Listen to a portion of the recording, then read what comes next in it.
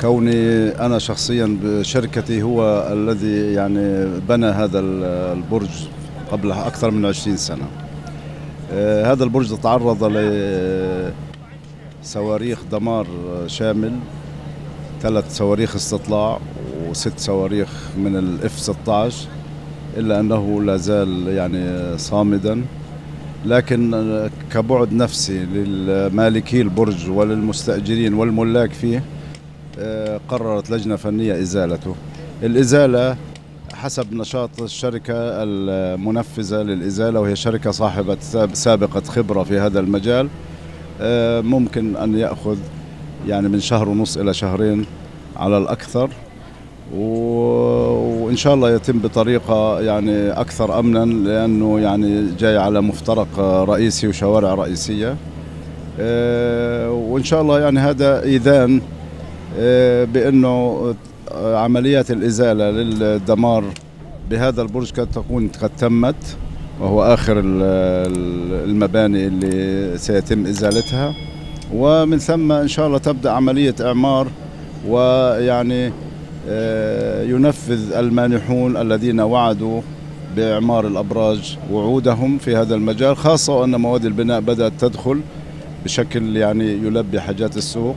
كل عمليات الازاله هي عمليات آه، عالية الخطورة.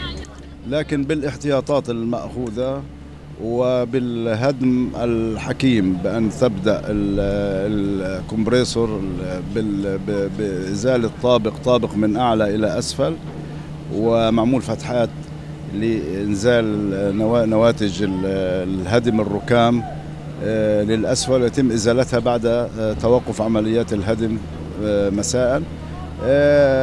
سيكون هناك رقابة صارمة من الجهات المشرفة من اليو إن دي بي ووزارة الأشغال واتحاد المقاولين على عملية الإزالة حتى نطمئن أنها تتم وفق الإجراءات آه، المحترمة والتي تأخذ بعين الاعتبار كل وسائل الأمان والسلام.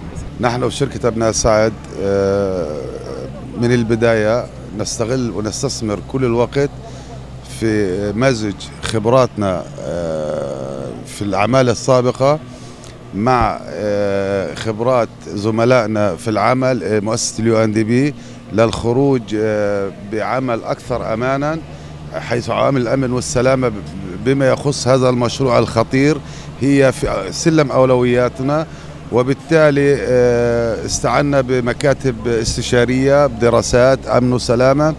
وبدأنا منذ أسبوع بعوامل الامن والسلامه على دائر البرج.